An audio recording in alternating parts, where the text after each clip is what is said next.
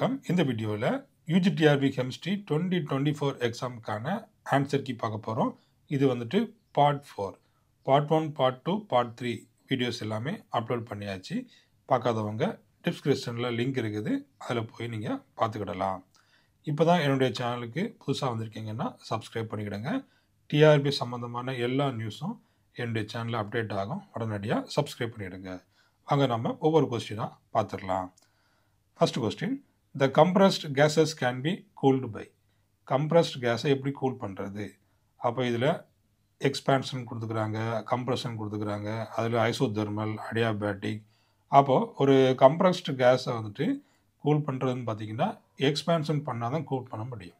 அப்போ இதுலேயும் பார்த்தீங்கன்னா அடையாபேட்டிக் எக்ஸ்பேன்ஷன் அப்போ அடையாபேட்டிக் எக்ஸ்பேன்ஷனில் அந்த கேஸஸ் வந்துட்டு கூல் ஆகும்.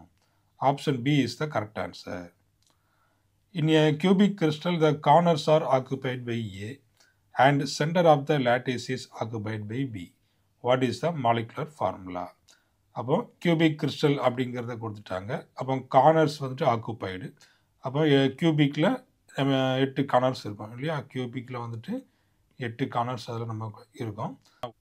Eight into one by eight அப்போ எத்தனை? அப்போ ஒன் வரும் இல்லையா? எயிட் இன்ட்டு பை எயிட்னா ஒன்று அப்போ ஏ எவ்வளோ இருக்குது அப்படின்னு பார்த்தீங்கன்னா ஏ வந்துட்டு இந்த ஒன்று அப்போ நம்ம ஒன்னுக்கு பிறகு ஏ போட்டுக்கிடலாமா? அடுத்தது இந்த centre of the lattice is occupied by B centre of the lattice is occupied by B அப்போ சென்டரில் ஒன்றே ஒன்று தான் இருக்குது. அப்போ அந்த ஒன்றே ஒன்றுக்கு பிறகு நம்ம என்ன போட்டுடலாம் நம்ம பி போட்டுடலாம். ஒன்றே ஒன்றுக்கு பிறகு பி போட்டுடலாம். இப்போ option C is the correct answer option C is the correct answer அடுத்தது பாருங்கள் the interplanar spacing in a cubic system between 1 1 1 planes with the dimension 50 picometer. அப்போ இதில் என்ன கேட்டுக்கிறாங்க? இன்டர்பிளேனார் டெஸ் ஸ்பேசிங் கேட்டுக்கிறாங்க.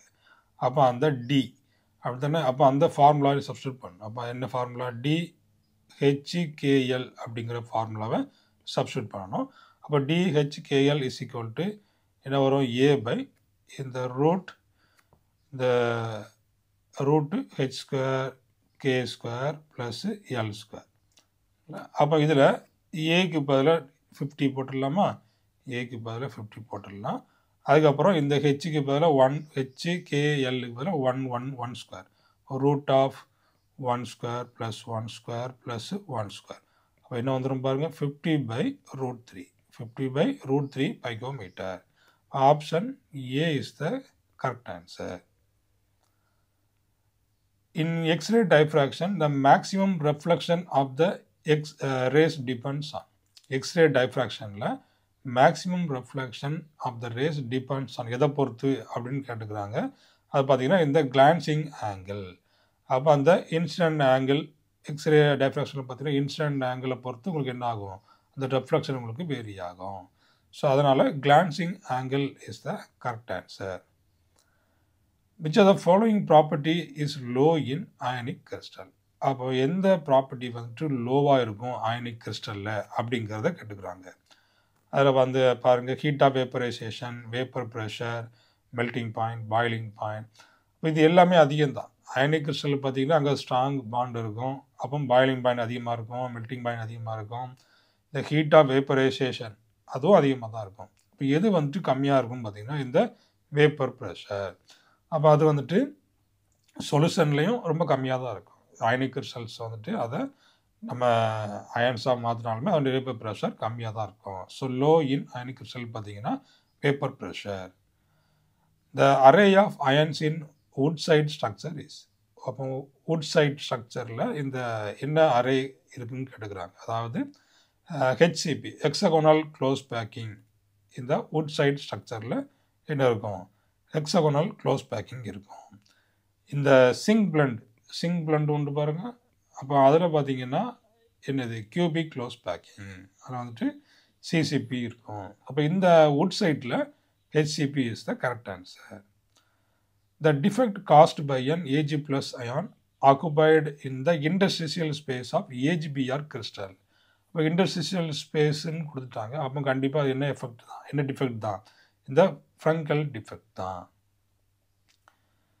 the mean free path of a gas molecule is days அப்படின்னு கேட்டுக்கிறாங்க இந்த mean free path of a gas molecule அப்போ இந்த மீன் ஃப்ரீ பாத் எதை பொறுத்து எதை எதுக்கு ப்ரொபோஷனல் அப்படின்னு கேட்டுக்கிறாங்க directly proportional to temperature option B is the correct answer directly proportional temperature inversely proportional to diameter inversely proportional to density அப்போ இதில் வந்துட்டு என்ன அப்போ? இந்த mean free path mean free path directly proportional to temperature At what temperature will the average velocity of a sample of N2 be the same as that of CH4 gas at 100 degree Celsius? என்ன கேட்டுக்கிறாங்க? At what temperature அப்படின்னு கேட்டுக்கிறாங்க. அப்போ temperature நாம் கண்டுபிடிக்கணும் இல்லையா? Temperature will the average velocity அதுவும் கொடுத்துட்டாங்க. Average velocity of a sample of N two gas be the same as that of CH four அப்போ ரெண்டையும் ஈக்குவேட் பண்ணணும். அப்போ இந்த ஆவரேஜுக்கு இந்த ஃபார்முலா என்ன? ஆவரேஜ் வெலாசிட்டிக்கான ஃபார்முலா என்ன? ஒரு root root eight RT by M அப்போ ரெண்டையும் நம்ம கம்பேர் பண்ணணும். அப்போ root eight RT by M இல்லையா? அப்போ இதில் எல்லாமே அடிச்சிடலாமா? ரூட் எடுத்துடலாம். இங்கே ரூட் எடுத்துடலாம் எயிட் எடுத்துடலாம் எயிட் எடுத்துடலாம் ஆறே எடுத்துடலாம் ஆறே எடுத்துடலாம். அப்போ என்ன மட்டும் தான் இருக்கும் இதில்? டி பை எம் இருக்கும். T by M is equal to T by M அப்போ இந்த ரெண்டு மட்டும்தான் இருக்கும். அப்போ இது நம்ம ஒன்று டி ஒன்று டி டூன்னு வச்சுக்கிடலாம். எம் ஒன்று எம் டூன்னு வச்சுக்கிடலாம். அப்போ இதில் ஏதாவது ஒன்று நம்ம டி ஒன்று வச்சுக்கிடலாம். இதில் வந்துட்டு என் டூக்கு வந்துட்டு டி ஒன் வச்சுக்கிடலாமா? அப்போ என் உடைய டெம்பரேச்சர் என்ன அப்படின்னு கேட்டுக்கிறாங்க. N two N two be the same as that of CH four at hundred degree Celsius அப்போ சிஹெச் ஃபோர்க்கான டெம்பரேச்சர் கொடுத்துட்டாங்க. அப்போ இது நம்ம டி டூன்னு வச்சுக்கிடலாமா? அப்போ டி டூ அளவு ஹண்ட்ரட் டிகிரி செல்சியஸ் அப்போ hundred plus two seventy three அப்போ த்ரீ செவன்ட்டி த்ரீன்னு வச்சுக்கலாமா? அப்போ பாருங்கள் நான் இந்த இதை அங்கே எழுதுகிறேன் அப்போ three seventy three divide by mass CH ஃபோர்னுடைய mass அப்போ கார்பனுக்கு எவ்வளவு? Twelve twelve plus four sixteen sixteen நான் கீழே போட்டேன்னா அப்போ இந்த பக்கம் என்ன? நைட்ரஜன் என் உடைய அந்த டெம்பரேச்சர் கேட்டிருக்காங்க அப்போ டி டூ டிவைட் பை அதனுடைய மாஸ் அப்போ என் டூ வந்துட்டு எவ்வளவு? ஃபோர்டீன் ப்ளஸ் ஃபோர்டீன் வந்துட்டு எவ்வளவு? அப்போ ஏ டுவெண்ட்டி எயிட் ஓகே அப்போ நம்ம எல்லாம் எழுதியாச்சு. இப்போ இதில் வந்துட்டு டி டூ கேட்டுக்கிறாங்க அப்போ ஆட் வாட் டெம்பரேச்சர் அப்படின்னு கேட்டாங்க. அப்போ டி டூவை வச்சுட்டு இதை அங்கே கொண்டு போங்க. டி டூ அங்கே வச்சுக்கிட்டு three seventy three and twenty eight divide by sixteen divide by sixteen போட்டிங்கன்னா இதை நீங்கள் டிவைட் um, பண்ணி பாருங்கள் டிவைட் பண்ணும்போது என்ன வருது? இதில் வந்துட்டு எயிட் டூ சார் சிக்ஸ்டீன் இதை பார்த்தீங்கன்னா ஃபோர்டீன் அடுத்தது ஒரு ஃபோர் டூ சார் எயிட்டு இங்கே பார்த்தீங்கன்னா செவன் அப்போ இது மறுபடியும் ஒரு மறுபடியும் ஒரு ஃபோர் இருக்கா? சரி அப்போ வந்துட்டு இதில் நம்ம டிவைட் பண்ணி பார்க்கலாம்.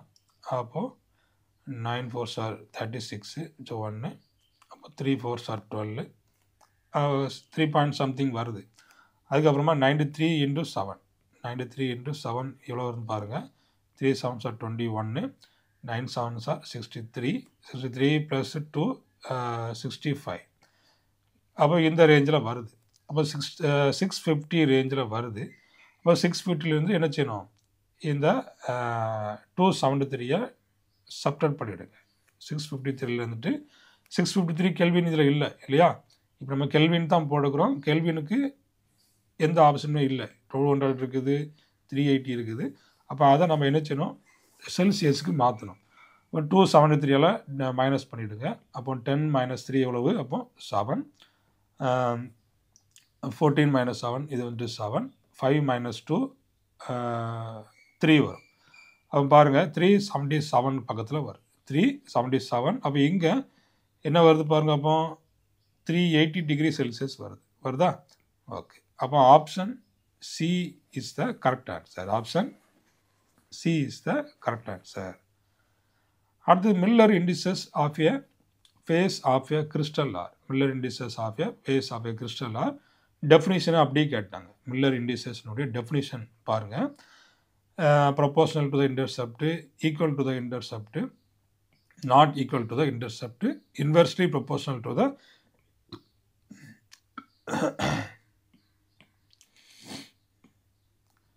inversely proportional to the intercept of that face அப்போ option D is the correct answer inversely proportional to the intercept of that face on the various axis அதான் மில்லர் இண்டிசஸினுடைய அந்த டெஃபினேஷன் தான் இந்த இந்த கொஸ்டின் அடுத்தது லெவன்த் ஒன் பாருங்கள் which one of the following is a Debye Hückel and Onsager equation ரொம்ப சிம்பிளான கொஸ்டின் அப்போ டிபை ஹக்கல் ஈக்குவேஷன் படிச்சிருந்தோன்னா அப்படியே இந்த கொஸ்டினுக்கு ஆன்சர் எழுதிடலாம். அப்போ இதில் பார்த்தீங்கன்னா option B is the correct answer lambda M is equal to lambda M not minus eighty two point four வரும் plus eight point two zero ten four five by DT of lambda M not root C option B is the correct answer which are the following does not involve change of colloidal state suspended state to year suspended state அப்போ என்ன இதெல்லாம் பா process கொடுத்துருக்குறாங்க. எல்லாமே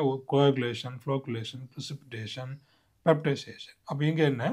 Does not involve change of colloidal state to a suspended state அதாவது அங்கே வந்துட்டு aggregation ஆகாமல் எதில் வந்து இருக்கும் அப்படிங்கிறத கேட்டுக்கிறாங்க. அப்போ அதுக்கு பார்த்தீங்கன்னா peptization is the correct answer which the following statement does not apply to chemisorption அப்போ ஹெமிஸ் ஆப்ஷனுக்கு வேணும்னா கண்டிப்பாக ஹை டெம்பரேச்சர் வேணும். இப்போ ஹை டெம்பரேச்சர் இருந்தால் தான் அங்கே வந்து ரியாக்ஷன் நடக்கும். அப்போ பார்த்தீங்கன்னா இதில் எங்கே இருக்குது unimolecular or occur at low temperature அப்போ லோ டெம்பரேச்சரில் நடக்காது இல்லையா? அப்போ does not apply to chemisorption கேட்டுக்கிறாங்க. அப்போ occur at low temperature is the correct answer the unit of rate constant for a half order reaction unit of rate constant for a half order reaction அப்போ இதுக்கு எப்படி எழுதணும் அப்படின்னு பார்த்தீங்கன்னா இந்த mole mole per litre whole power one minus n அதுக்கப்புறம் பார்த்தீங்கன்னா second inverse சரிங்களா? Mole per litre one minus and second inverse அப்போ இதில் வந்துட்டு இந்த ஹாஃப் ஆர்டருக்கு கேட்டுக்கிறாங்க. அப்போ எண்ணுக்கு பதிலாக நீங்கள் என்ன போடணும்? ஹாஃப் போடணும். அப்போ mole per litre whole power one minus half அப்போ எஸ் இன்வெர்ஸ் அது ஒன்றும் பிரச்சனை இல்லை. அப்போ ஒன் மைனஸ் ஹாஃப் என்ன தான் ஹாஃப் தான்.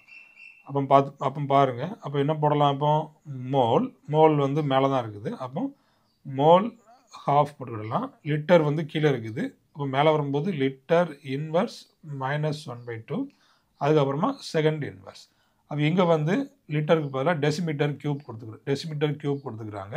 அப்போ டெசிமீட்டர் க்யூப் வந்துட்டு மைனஸ் ஒன் பை டூவில் போடுறோம் அப்போ நம்ம அப்படியே போடலாம். டெசிமீட்டர் க்யூப் அது வந்துட்டு மைனஸ் ஒன் பை டூ அடுத்தது mole one by two S inverse அப்போ இந்த ஆப்ஷன் எங்கே இருக்குதுன்னு பாருங்கள் decimetre cube minus one by two mole one by two S inverse அப்போ ஆப்ஷன் சி ஆப்ஷன் சியில் இப்போ decimetre cube minus one by two mole one by two second inverse. Option C is the correct answer.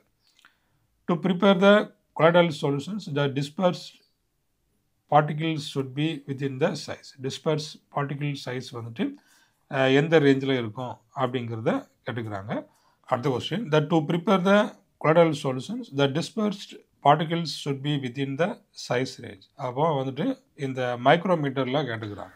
இந்த கொஸ்டினில் ஒரு சில doubt இருக்கிறதுனால நம்ம இதை வந்துட்டு விட்டாச்சு.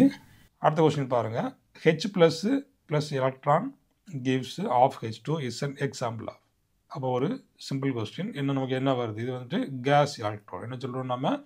கேஸ் எலக்ட்ரோட் அப்படின்னு சொல்லுவோம். இல்லையா?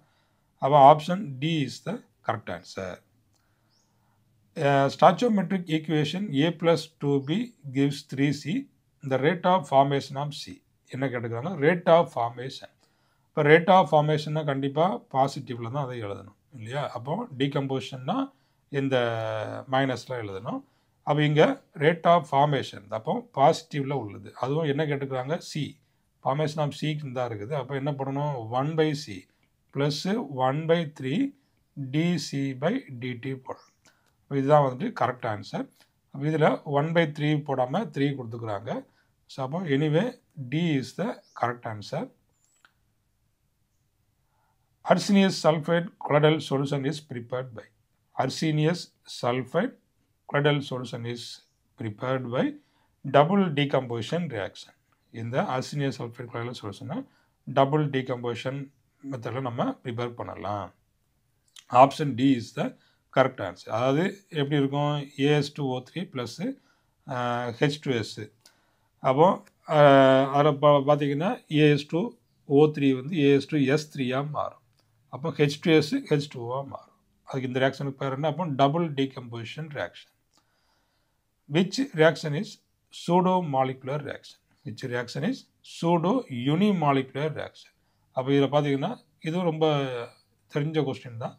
Acid hydrolysis of an ester acid hydrolysis of an ester is the correct answer இப்போ இந்த வீடியோவில் நம்ம ஒரு டுவெண்ட்டி கொஸ்டின்ஸ் பார்த்துக்கிறோம். அடுத்த வீடியோவில் நம்ம ரிமைனிங் கொஸ்டின்ஸை சால்வ் பண்ணலாம்.